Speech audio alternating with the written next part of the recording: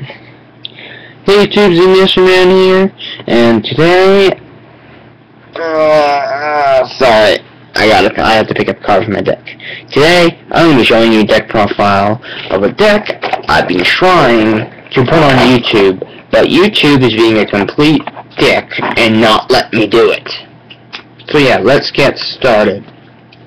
I'll run one Battle Fader,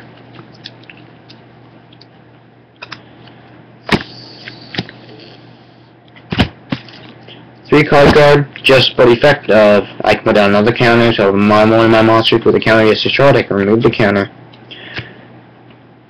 Dark. Necrofear, pretty much a mind control in monster form. Three res, naders. Uh, you need to run this card in this deck, you need to run three, and I'll tell you why. Later two darkness neosphere heart of the deck monster gets destroyed monster gets attacked pop it it's a 4000 attack and defense cannot be destroyed. Lancer just for the pierce marshmallow one good card to stall with and if your opponent attacks it they take a thousand points of damage. Rizal, good for if your monster gets destroyed or and it can dest destroy a spell, spell card. Uh,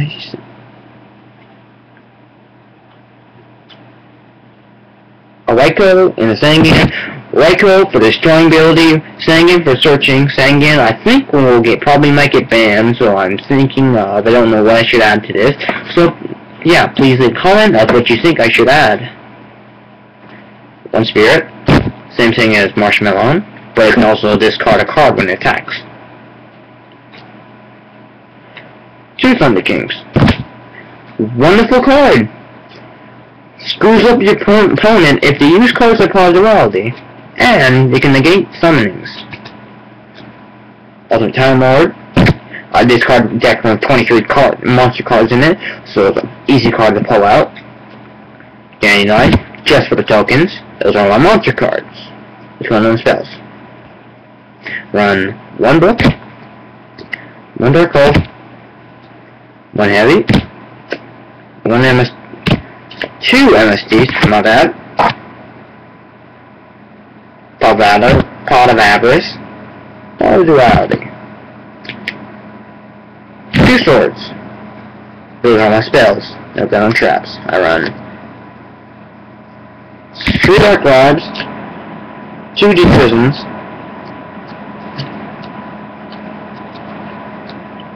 to escape. One year. Two on the holes. Torrential. One judgment. And one compulse. So yeah, that's my deck. Do an extra deck. Dark Highlander.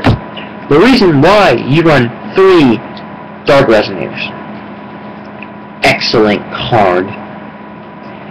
You synchro summon this. You, if your opponent is running synchro summons, you pretty much won the duel. And it works great with car, um, card blocker. So yeah, I, over here, because since this deck vanishes a lot, Good card to bring it back. Good card to bring it back. Arrow Shark. Good for damaging if you have any banished monsters. I would also like to talk about why people think that they should spend this much money, X amount of money on cards that can be bought later because they will get reprinted. I'm talking about a couple examples, Solemn Warning, Pod Duality, and Effect Veiler. Effect Veiler came, they all came out in this revolution. Effect Veiler was $35. Pot and Solemn was 48 Effect got reprinted two times. Goes back third, you say 3 and Order Special. Order Special, it is probably 8 or 9, 9 10 dollars. Uh, those were, um, Yugi, no, you say pack three, it probably six seven dollars. Soul Morning and Polyduality got, came out in the um, wave one and two tins of 2011. They are both. Oh wait, Soul Morning I think is like ten bucks.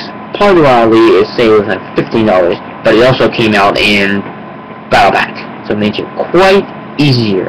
My opinion is people should just wait. That's what I do.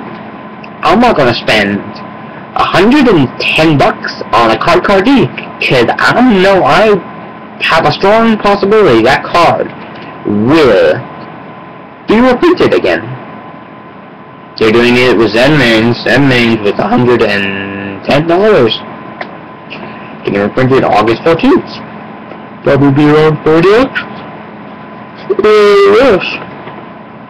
Yeah, and my question of question of this video is: Do you agree with what I'm saying? I've got um people should wait and just buy a reprint, or do you disagree with it? And if you disagree, please leave a comment in the comment section below. So yeah, um, until then, you two, the Mystery Man, signing out.